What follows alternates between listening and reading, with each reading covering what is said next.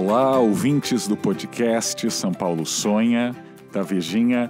Hoje, com muito prazer, que eu estou recebendo o arquiteto Fernando Forte, que é do escritório FGMF, um escritório que tem trabalhado muito, apesar aí da crise brasileira, assim, não a crise, para o FGMF. E um dos temas dos sonhos aqui desse podcast, além de a gente deixar um pouquinho o baixo astral de lado e tentar pensar em como São Paulo poderia ser uma cidade melhor, há um papel grande da arquitetura nesses sonhos, né? Aliás, a arquitetura que já teve aí muito poder e muita influência no Brasil, e essa influência passou aí por algumas décadas, também de baixo astral, mas que acho que está voltando agora, tomara que com força. Olá, Fernando, bem-vindo. Obrigado, Raul. Prazer estar aqui com você. Obrigado pela Virgínia também, muito legal a iniciativa. A Coluna São Paulo sonha, né? Olhando para frente e chega de choramingar tanto pelo passado, mas analisar e ver o que, que a gente pode fazer de melhor. Claro, é, é, eu publiquei há pouco é, na coluna São Paulo Sonha na Vejinha um projeto de vocês para mudar o memorial da América Latina e a Estação Barra Funda. Queria que você falasse um pouco desse projeto e também sonhos que rolam lá no escritório. Assim, se vocês tivessem, sei lá, o ouvido do governador, o ouvido do prefeito, que coisas que vocês discutem lá para melhorar a cidade? Ah, são muitos sonhos, né? A gente tem. Recentemente a gente montou um FGMF Lab, que a gente chama. O Lourenço está capitaneando isso, para fazer projetos sem cliente, projetos sem prazo, para a gente poder pirar, errar, fazer coisas diferentes. Prime... O primeiro projeto, inclusive, é uma proposta de reforma da nossa rua a rua onde está o nosso escritório, que é uma ruazinha chamada Oriflama, de uma quadra só, como fazer ela ficar mais agradável. Então, então uma proposta que a gente está fazendo junto com os alunos da Belas Artes. Então, a gente gosta de ficar dando uma pirada de vez em quando, além de fazer os projetos uh, comissionados, assim, né? Pagos, que a gente precisa também receber dinheiro e não ficar só sonhando lá. Mas. Tem que pagar os boletos. É, tem que pagar, tem que pagar a equipe e tal.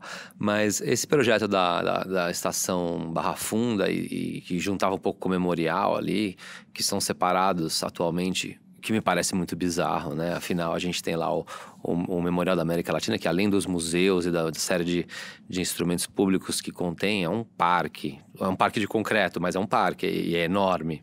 Equipamento público. Equipamento público. E você tem lá a saída da estação Barra Funda do, do metrô, que aliás eu saí recentemente e confirmei isso. E você sai numa calçada de 2 metros ou 3 metros de largura ali, do lado de uma grade verde, e que você olha lá um, um pátio de concreto com, com uh, uh, prédios importantes do Niemeyer à distância. Quer dizer, por que, que você não deságua nessa praça aí? As pessoas vão que depredar as coisas, se não depredam no Ibirapuera, por que, vão depredar ali? Quer dizer, é um negócio completamente incompatível com qualquer bom senso. É só pegar uma planta e olhar, assim, né? E passam 500 mil pessoas por dia na estação Barra Funda do metrô, né? Era um terminal intermodal super importante da cidade e é completamente separado do equipamento urbano, que por sua vez é subutilizado, sabidamente. Então, parece um contrassenso de todos os lados. Há interesse do, do, do complexo de trazer gente, há interesse das pessoas de passarem pelas ruas de uma forma mais uh, convidativa. Isso não acontece.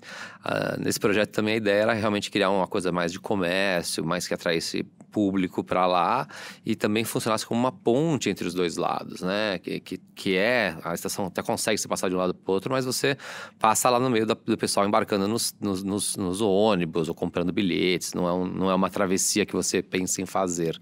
Seria com rampas essa ligação? Seria com rampas, sim. Com rampas que na nossa proposta desaguavam dentro do memorial, porque é uma coisa só, eu não teria a calçada. A calçada é aquela praça do memorial, que é, tem 300 metros de largura em certos lugares, né? Então, quer dizer, juntar um lado ao outro, é, que é também uma, uma preocupação do nosso escritório, assim.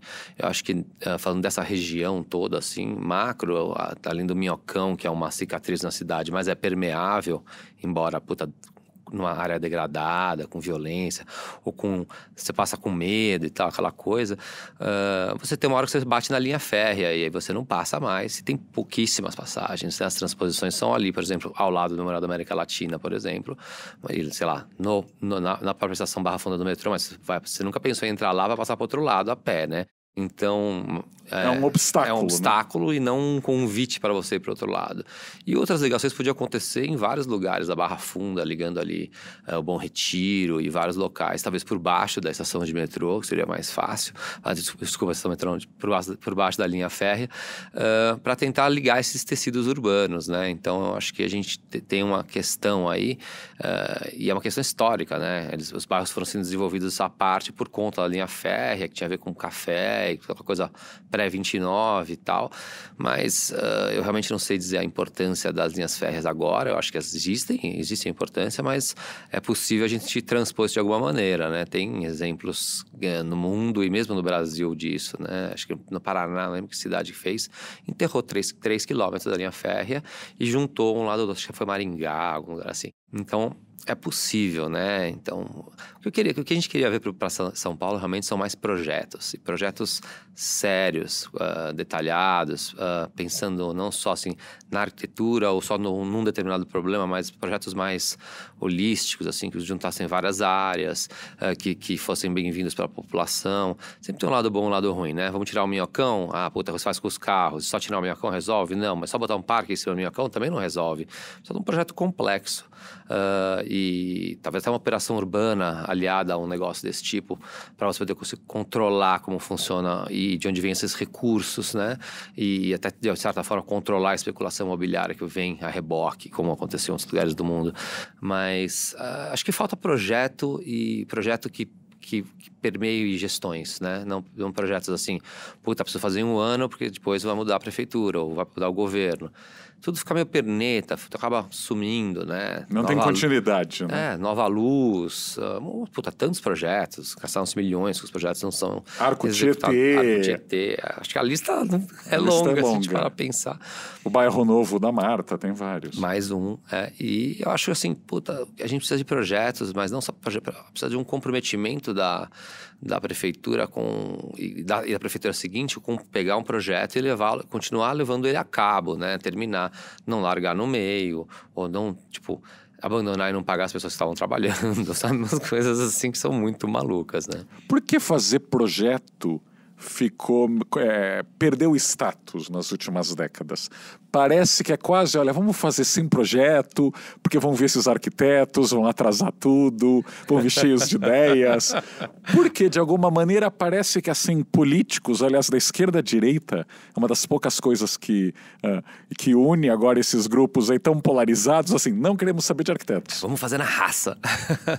Eu acho muito maluco, né? Não tem nenhum time de futebol que não entra em campo sem uma tática, um plano vamos tocar essa cidade ou esse país na, na raça, sem um planejamento, né?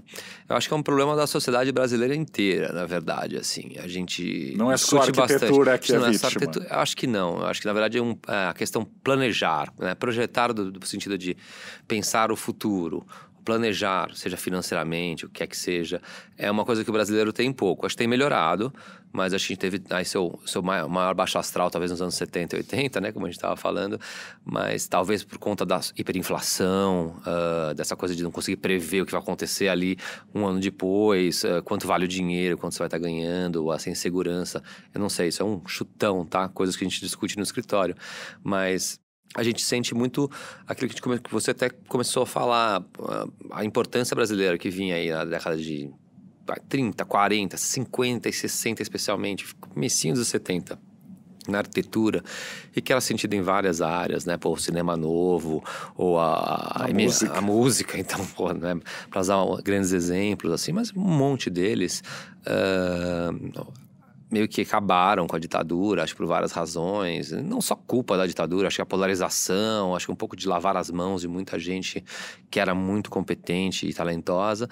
E, e aí a coisa da arquitetura foi perder o arquiteto, né? A, a, não só arquiteto, mas assim a, a noção. Perdeu esse status. O arquiteto perdeu esse status, mas a, a noção da sociedade, a importância da arquitetura para a sociedade sumiu, né? Então lá, no final dos anos 80, você pergunta para alguém quem que é um arquiteto, a pessoa falava, ah, tem o Niemeyer, porque, pô, Niemeyer é um, né? Que nem o Silvio Santos. É, é, uma entidade. Claro. Ou falava de algum decorador da, da, da moda na época, claro, entendeu? Claro, e não realmente arquitetos que estavam fazendo coisas.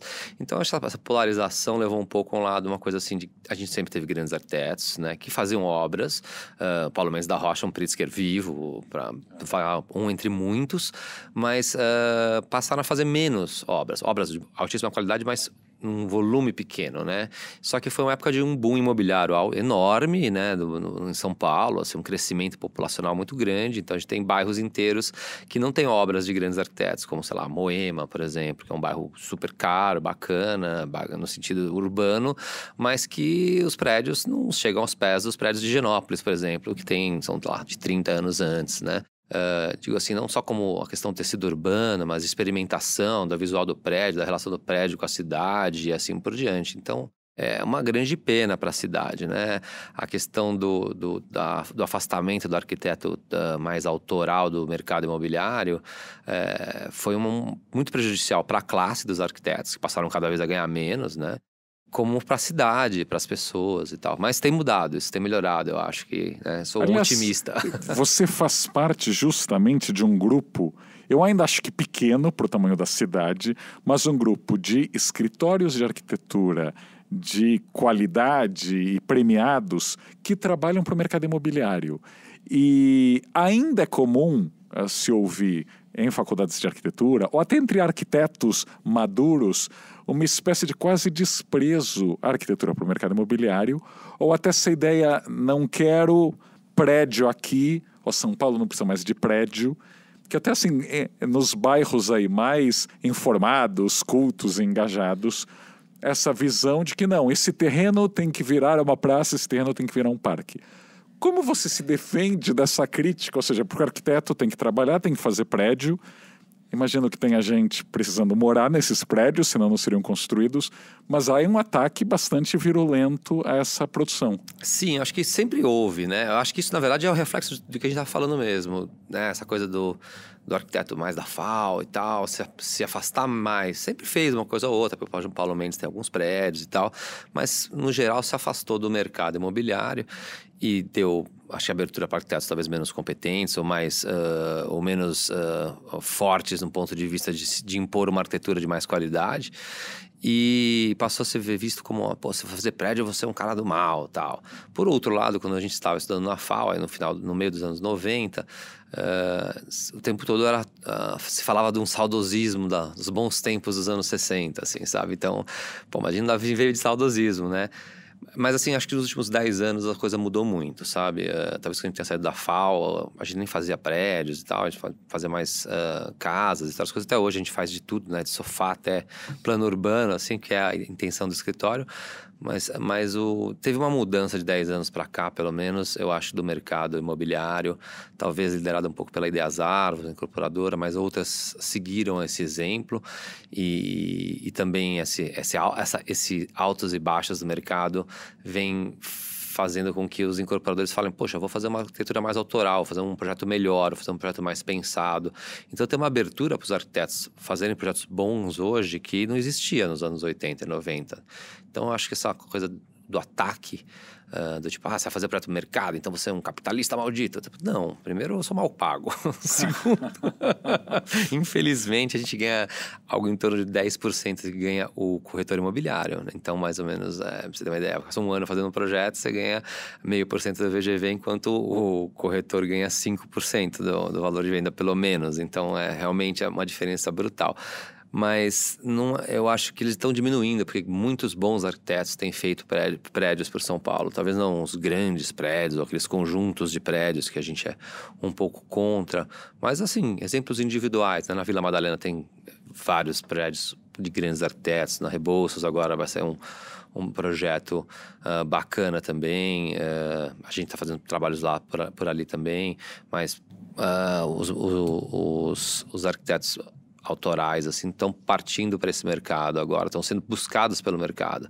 O que é uma coisa interessante, porque é uma faca de dois gumes, né? o que é muito legal. É muito legal ter esses arquitetos fazendo projetos bons como Nietzsche Arquitetos, Álvaro Puntoni, Andrade Moritim, ou tantos outros aí, o Isai, Kogan, enfim, tantos caras legais fazendo prédios, é muito bom para a cidade, né? Os prédios são marcos. Acho que teve até uma capa de uma, uma, de uma vejinha que era, é, que era isso, né? Colírios urbanos. Colírios urbanos. Chamou. Eu acho que tinha totalmente razão, assim, as pessoas ficam empolgadas e olham aquilo e falam, pô, eu quero um projeto melhor, não quero mais aquele carimbo que você fazia antes. Maison, a linha de montagem. Coisa. É, a linha de montagem. Né? Palazzo, né? não sei o quê. É. Maison Renoir, é, Maison não é, sei o quê. É. Então, eu ninguém acho... consegue pronunciar, né? Ah, Sempre aquele vexame, né? é tipo um horror, né? Então, ter esses projetos, acho que é uma coisa muito boa. Então, a tendência da, da crítica, assim, um, da, da, academia contra você fazer prédios está caindo e tem que cair, porque no resto do mundo é o oposto que acontece, né? Os grandes escritórios, escritórios autorais fazem projetos legais. Álvaro Cisa faz prédio de luxo em Nova York, né? Pois é, então não tem por que não. Né? Tantos, tantos casos. O Renzo Piano fez quantos prédios interessantíssimos por aí. O, to, todo mundo, né? Então é uma, é uma coisa pouco tola essa.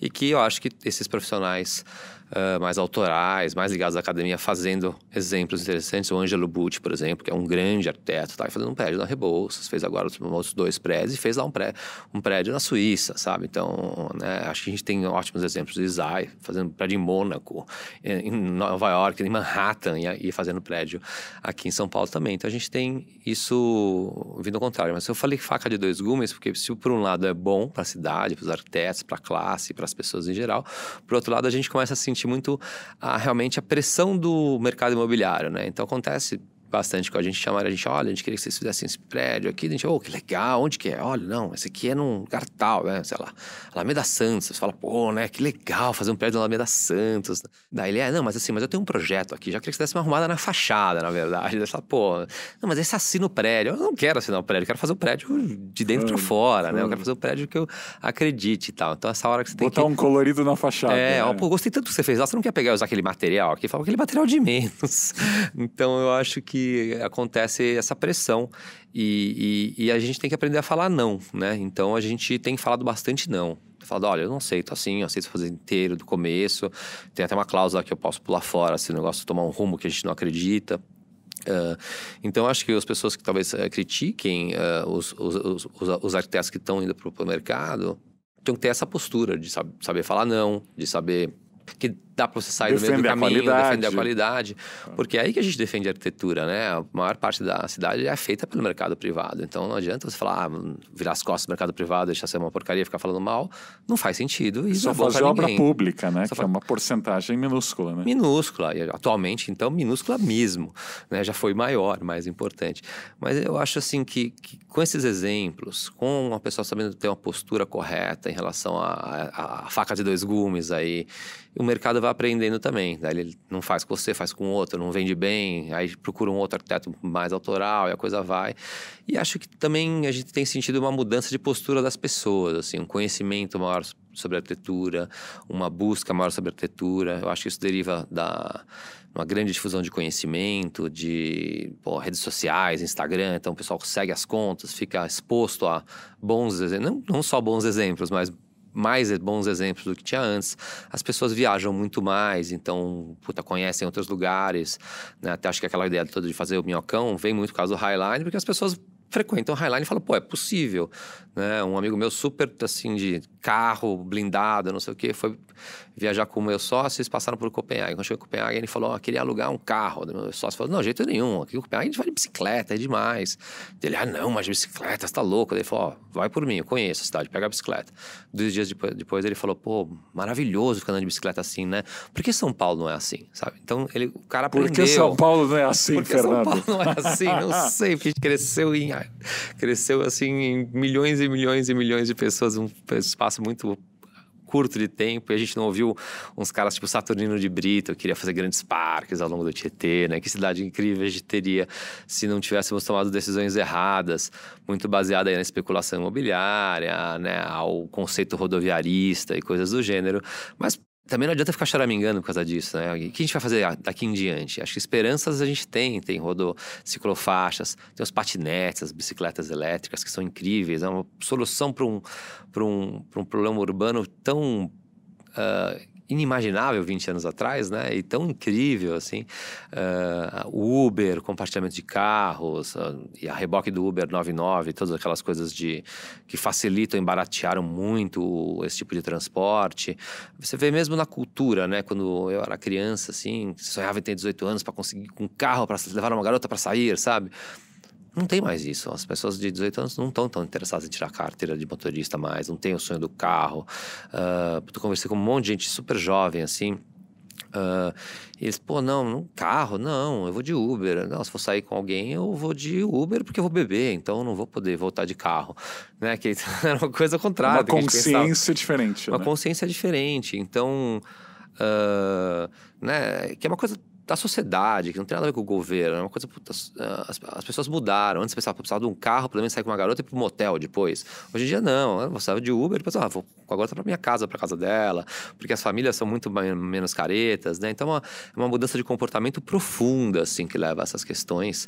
Então, eu acho que nos últimos 10 anos a gente tem melhorado esse conceito. Tem o plano diretor também ajuda, eu acho, né? Minimiza vagas, privilegia o transporte público, deixa construir mais nas unidades menores faz o uso misto, que era proibido antes, que era uma maluquice ser proibido, né? É uma coisa muito idiota. A gente teve grandes exemplos, né? Como na Paulista, lá, o, o do, do Libeskin. O Conjunto Nacional. O Conjunto Nacional. É um é, durante muito tempo ótimo. era impossível colocar lojas num prédio residencial é, ou mesmo corporativo. Que é uma coisa completamente idiota. Então, puta, vou ter que pegar o carro para ir na padaria, sabe? Assim, uma coisa maluca. Então, eu acho Muitos que... Muitos bairros gente... de São Paulo ainda tem que se pegar carro para ir na padaria. Sem dúvida. E aí você criar muros sem fim e espaços uh, públicos que não são bem espaços, são passagens meio tétricas, né? Eu acho que, por exemplo, um ótimo exemplo é o, o para usar um exemplo antigo ainda, é o Portal do Morumbi, né? Aquele conjunto de prédios, e não nem discuta a qualidade dos prédios, que até é razoável e tal, por dentro, mas é um negócio enorme, e você já, já andou em volta daquele negócio de carro, né? Porque a você não tem coragem. É um muro que serpenteia lá, uns 700 metros, numa ladeira se encontrar alguém no meio da rua, você fica morrendo de medo, é escuro, não tem luz pública direito. Quer dizer, é um, é um não espaço, né? Ninguém vai andar Uma cidadela lá. medieval, né? Medieval. Só faltaram os crocodilos ali. É. Exatamente. Você, os crocodilos de um lado, né? Os, os, os, invasores do outro. Os atiradores de elite, né? Arco e flecha. As seteiras no, no, no, nos muros. Então, eu acho assim que, que esse tipo de situação não dá, né? Mesmo dentro do Portal do Morumbi, você fala assim, vou, vou sair daqui, vou comprar um pão, vou ter que pegar um carro, carro. Eu namorei uma menina na época da faculdade, lá nos anos 90, que morava ali perto. Pô, aquela locadora era carro. Queria ir na. Pegar pão era carro. Queria ir né, na lanchonete era carro. Era um Puta, um preguiça. claro, preguiça. preguiça. Então, acho que eh, essa ideia de fazer os usos mistos, né? deixar os bairros mais com, com acesso, privilegiando calçada, a questão de doação de calçada obrigatória, então as calçadas ficarem com 5 metros, pô, é o mínimo que se espera para conseguir andar, calçada bem cuidada, direito, uh, as lojas no térreo, ter, ter comércio, né? tipo, escritório, junto com residencial também, acho que é bacana obrigatório ter, ter as paradas de bicicleta, né? Os bicicletários.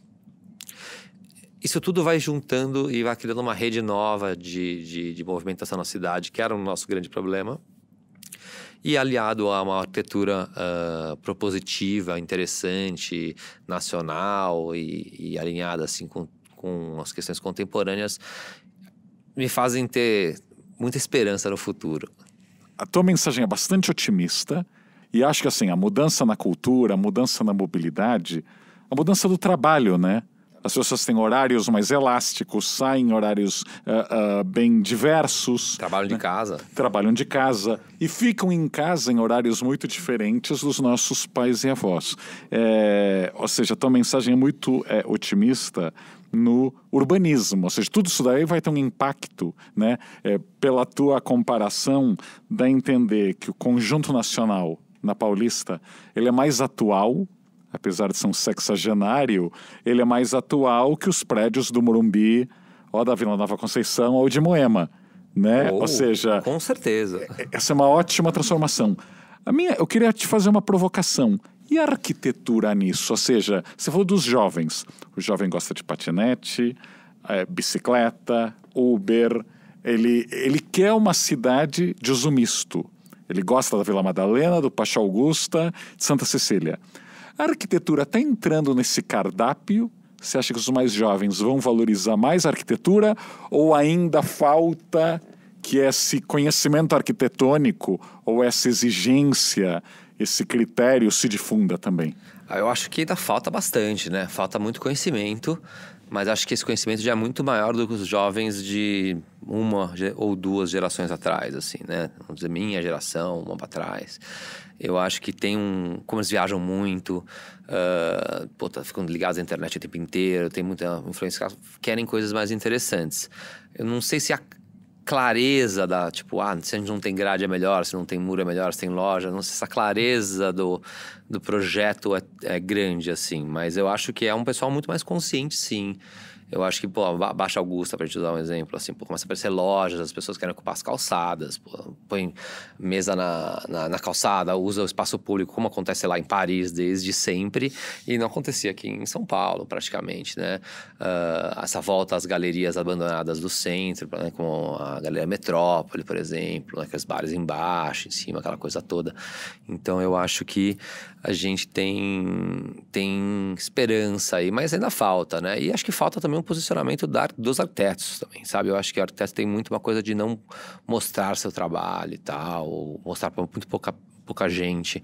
Eu acho que é muito importante mostrar para o público geral, né? Arquiteto tem uma coisa que assim, arquiteto casa com arquiteto, amigo do arquiteto, mostra o projeto para o arquiteto, aí reclama que não, pô, ninguém procura os arquitetos, fala, pô, mas você não conhece ninguém que precisa de um arquiteto mesmo. É uma panelinha. É uma panelinha, então acho que isso é uma coisa ruim, eu acho que arquiteto tem que, sabe, ser um mais conhecida a importância da projetual na cidade, no prédio, na casa, e não só na decoração do apartamento, assim.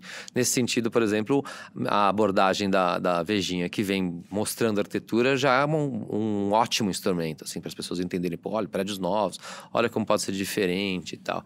A gente fez um São prédio... Paulo poderia ser mais bonita. Pois é, a gente fez um prédio recente outro dia e o, o, o primo da minha mulher tava um churrasco comigo e falou, puxa, na minha rua lá fizeram um prédio tão legal, queria que você visse e tal. Eu falei, é mesmo? Que rua que é? Ele falou, não, Augusto de, Augusto de Campos, Augusto de alguma coisa, esqueci agora. Augusto de Moraes, talvez.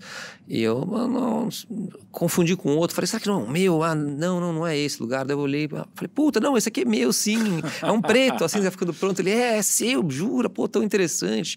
Não tem fechamento embaixo, né? Eu falei, não, tem, porque assim, a verdade é que a gente tem uma violência urbana e o pânico urbano, que é muito maior que a violência urbana, que justifica um monte de coisas que são ruins para a cidade, que é o, o se fechar, a se cancela, trancar. a roda da pizza, aquele negócio todo, a, a, comporta, né? Aquele negócio todo, mas é muito as difícil. Guaritas de, gigantes. As guaritas gigantes. E agora as guaritas estão sempre todas reformadas, sendo colocadas no nível da calçada para você poder ficar vendo ali no vidro à prova de balas, como também se isso fosse resolver alguma coisa, não resolve. Claro, claro. Né? Isso é um, um equívoco, assim. Claro. Acho que tem toda uma indústria da, do, do pânico, do medo. Do medo. Uh, e, e, hoje em dia, inclusive, você consegue fazer tudo isso remotamente, muito mais bem vigiado por câmeras e tal, do que ficar fazendo portarias gigantescas, né? Aliás, os maiores arrastões da cidade aconteceram em prédios fortificados, né? Exatamente. É, é muito mais sensato você ter, tipo, um sistema de câmeras integrados com, com vigilância que liga pra polícia se acontece alguma coisa rapidamente, do que ficar fazendo portarias medievais, que no fim das contas tem um carinha lá que não tá preparado para isso, ele vai ter o quê? Um fuzil para tirar numa pessoa, sabe? Não tem menor cabimento, não, não dá. Não, é, um, é um caso de polícia, não é um caso de, de, de como você falou, medieval, assim, que a gente não tinha claro. polícia, era o único jeito, né? Claro, claro. Mas... Uh, eu acho assim que, que a gente lá, por exemplo, nesse prédio, o que foi feito foi uma espécie de um fosso, assim, que ilumina a garagem, é um vidro e você vê o térreo no nível da rua. Não dá para você entrar no térreo por causa da, do, do, medo, da segurança necessária para o prédio e tal, mas é um recurso visual. Então, de dentro para fora, de fora para dentro, você está no nível da calçada, assim, só tem um vidrinho de guarda-corpo que separa. Não dá para você pular e entrar lá dentro, mas é uma situação já que a arquitetura tenta reverter esse quadro ainda levando em conta a questão da separação necessária. Então a gente tem recursos para fazer coisas interessantes, né? Os prédios do plano diretor que vão pedir lojas embaixo, fachada ativa e tal, naturalmente levam para uma situação que você não tem esse fechamento. Ao contrário do que fizeram na Setenco lá agora, né? Que convidaram a gente para fazer aquele. Até te falei, convidaram a gente para fazer aquele projeto. A gente, Setenco oh, é bom explicar aquele condomínio na Ministro Rocha Azevedo com a Paulista, onde ficou o restaurante Spot. Isso, isso, exatamente. É um... E que fecharam, né? Colocaram um alambrado preto. Pois ali. é, há uns quatro anos atrás eles procuraram a gente para fazer essa reforma. E fala, a gente né, ficou super empolgada no primeiro momento. Olha que legal, vamos ter Um condomínio lindo. É, não, um lugar super icônico da cidade. É um dos grandes exemplos, um dos poucos grandes exemplos que a gente tinha na faculdade como uma obra mais recente e interessante. Mas a gente Uh, falou, ficou empolgado no primeiro momento, que foi conversar com o pessoal, falaram, então, que reformar tudo, arrumar improvisação, refazer a praça, de, nossa, que legal, vamos encher de banco, equipamentos urbanos, né, fazer isso aqui incrível. Ele, não, mas a gente tem que poder fechar. A gente fechar, mas poder fechar, ele era de que fechar. Eu falei, por que fechar, né? Qual que é o qual que é o medo da, de fechar, tá tendo assalto, alguma coisa. Ele falou, nunca aconteceu nada. Eu falei, não, o que, que é o problema? Ele falou, as manifestações enchem de gente aqui. Eu falei, mas, pô, e daí? você tá na Paulista, poxa. se, não, se não entrar aqui dentro, você não consegue sair. Dá na mesma. Uh, mas não, não, não. Então a gente fez uma carta que mandamos pro conjunto dos condôminos, são os proprietários, né? Porque tem quem alua, que é proprietário e tal, explicando por que, que a gente se recusaria a fazer aquilo, uh, porque é contra tudo que a gente acredita na, na cidade, né? E acabar alguém fez lá, não sei quem foi que fez de fato o negócio. Agora tá é, fechado. não vai entrar pra história. Não, como, pô, vai ficar. Foi horrendo. Eu horrendo. não sei como ter coragem de fazer aquilo, né? É uma, é uma pena, assim. Então, pro, embora a gente tenha bons exemplos vindo aí, um monte de bons exemplos, acredito, a gente tem uns retrocessos, né? Esse é um grande, assim, um soco na cara, quase, né? Infelizmente. Não, e por último, já que o assunto aqui é sonhar, e a gente também pode sonhar em um dia em voltarmos a ter arquitetos aí muito influentes no poder político. Se amanhã o governador de São Paulo, o prefeito de São Paulo, te convidassem, Fernando, quero ouvir teus conselhos, que grande projeto pode mudar a cidade, que pequeno projeto, num curto período uh, uh, de tempo, poderia aí causar um belo impacto. Que coisas você sonharia de falar aí no ouvido de alguém com poder, com a caneta, com orçamento? Olha são para muitas horas. Mas assim. A listinha, acho... a listinha de Fernando. A listinha. É. Olha, eu acho que grande impacto numa cidade como São Paulo, um plano só é muito é impossível, né? A gente precisa ter talvez vários master plans que vão pegando de uma macro escala até uma micro escala, porque a cidade é gigantesca, né? E quando a gente começa a falar só de é, Barra Funda, Higienópolis e tal, a gente tá falando Zona Oeste, Zona Central, mas puta, tem tanto, tanto São Paulo, Zona Sul gigantesca e tal, e tão necessária. Mas assim, Pocket Parks, por exemplo, é uma coisa muito interessante que acontece em várias cidades do mundo, super bem uh, aceitas, com ótimos resultados para a sociedade e que custam quase nada e poderiam ser implantados assim em larga escala pela cidade inteira. Né? São pequenos terrenos baldios, fechados, que são da prefeitura, ou que são e fazem pequenos pocket parks que nem precisam ser uh, como a gente conhece, assim, térreo com uma quadrinha. Pode ser uma coisa um prédio antigo, abandonado, quebra metade dele, faz uma coisa em vários andares, por exemplo, da prefeitura.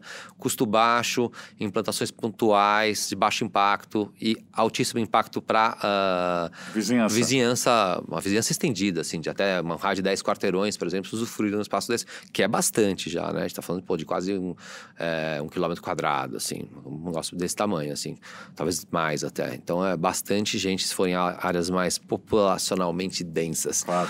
Mas isso seria uma ideia só. Eu acho que o, o projeto em voga agora, a questão toda do minhocão, né, que já se falou bastante, saiu na Veja e tal, mas que eu, por exemplo, acho louvável ter o desejo de mexer no minhocão, mas eu acho que o, é um projeto que está lá pelo menos o que foi apresentado até agora, é uma coisa cosmética, né? A gente precisa de um trabalho intenso, uh, talvez ligado até a uma operação urbana, e, e, porque a gente tem questões diversas de manutenção da população local, que prédios vão ser construídos aqui, com que leis, com que regras, e, e mais importante, como é o projeto Minhocão, não é só botar um parque em cima, tem lugares que precisa tirar trechos, ou tirar, tirar as vigas de borda e pelo menos deixar ele mais estreito para você poder dar um parque em cima, mas iluminar embaixo, como é que fica essa questão toda de baixo, a relação com as praças, as subidas, e até possíveis ligações com uh, edifícios uh, que estão abandonados ou que estão subutilizados ao redor, que o, o governo público podia comprar, ligar e fazer equipamentos urbanos também. Então, acho que a projeção um projeto muito muito, muito, interessante. Mais interessante, inclusive, que o Highline. Mas para isso você precisa de um projeto, precisa fazer ao longo, ao longo prazo. Não dá para você resolver isso em dois anos. Né? Em dois anos faz o projeto. A obra vai mais um tempão. E o que você faz com o trânsito? O que você faz com, com essas questões? Uh, o o incentivo de ciclofaixas, do uso de patinetes e equipamentos elétricos, assim, eu acho que tem que ser brutal na cidade. Né? Uma forma realmente muito eficiente de se locomover. Uh, eu lembro na faculdade que o Paulo Mendes criticava: fazer ciclofaixa, para quê? Imagina alguém de terno vai andar aqui, cidade de São Paulo cheia de altos e baixos, a pessoa vai andar lá um quilômetro, vai chegar toda suada no trabalho. Não dá ele tem um ponto aí, né? na verdade. É difícil andar em São Paulo, mas com as, com as bicicletas elétricas não é difícil. Então, as a pessoas gente... já estão usando, aliás. É, né? então. De terno e gravata. Por isso que eu acho que é uma revolução grande, assim, que a gente está meio achando, ah, que bonitinho, mas não é que bonitinho, é puta, isso é incrível. Assim. Desestressa a cidade. Né? Desestressa né? a cidade, pô, você consegue um, um, meio de locomoção muito mais simples, barato, ah, de custo baixo, sem poluição, que o cara não fica suado. Então, tipo, realmente é possível, entendeu? Uh, eu então acho que essa coisa do transporte periférico, vamos dizer assim, ou não das macrovias é muito importante estimular. Não sei exatamente como. O verde na cidade é importantíssimo também, né? A gente tem alguns bons exemplos aí, uh, exemplos assim, de lugares que eu não gosto, mas, por exemplo, na, na Marginal Pinheiros, que é, né, eu acho toda, toda a Marginal Pinheiros um equívoco, mas assim, a coisa de plantar uh, ao redor dela ficou muito melhor do que era antes. Tinha uma foto 10 anos atrás, onde agora é uma mudança muito grande do visual e tal. Faz ficar mais agradável a cidade, né? Então, eu acho que essas questões são muito importantes. E, claro, investimento no transporte público e metrô é uma coisa que que nem precisa falar, né? É óbvio para qualquer pessoa que já viajou para qualquer cidade, que a gente não tem uh, metrô suficiente, ou como a gente fez coisas como uh, toda a operação Faria Lima lá sem metrô, sabe? Que é uma coisa maluca, para dizer o mínimo, maluca.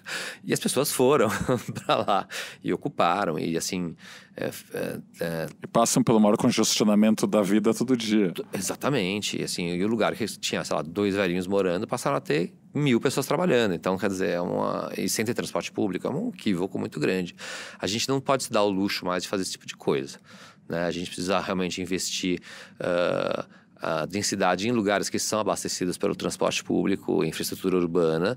Por isso que acho que a gente acaba sempre caindo na questão ah, o arco do, do Tietê, ou a questão de adensar o centro, ou os bolsões uh, perto do centro que são subutilizados por Brás, Paris, como fazer para essas áreas uh, serem ocupadas novamente. O, o processo, com moradia, Com né? moradia. moradia. Tem comércio lá, mas uh, também uh, mais tipos de comércio, né? Não só esse negócio atacadista, assim. Tem uma coisa, uma vida mais uh, perene, assim, de, de, dia até a noite, né? Por exemplo, à noite você vai lá no Seis da tarde, sete da tarde, não tem é ninguém. É terra de ninguém. Tem só aquela pizzaria lá, Castelões no meio. É, é. Mas nada, assim. Uma coisa muito louca. E é muito difícil fazer a coisa da volta ao centro, né? O movimento Vivo Centro e tal. Já há duas décadas, assim, mas conquistou alguma coisa, mas não o suficiente. Uh, por outro lado, tem que fazer essas coisas sem também gentrificar totalmente os bairros. É, um, é uma coisa difícil, mas eu concentraria uh, realmente o poder público em projetos que pudessem atender a periferia. Uh, projetos, tem projetos grandes a serem feitos, mas também pequenos projetos uh, pontuais que já ajudam muito as pessoas, uh, incentivando esporte, coisas assim, espaços públicos com segurança, que fazem a diferença na educação das crianças e dos adolescentes. E acho que a questão de mobilidade e a questão de adensamento dos bairros que já têm infraestrutura urbana são essenciais.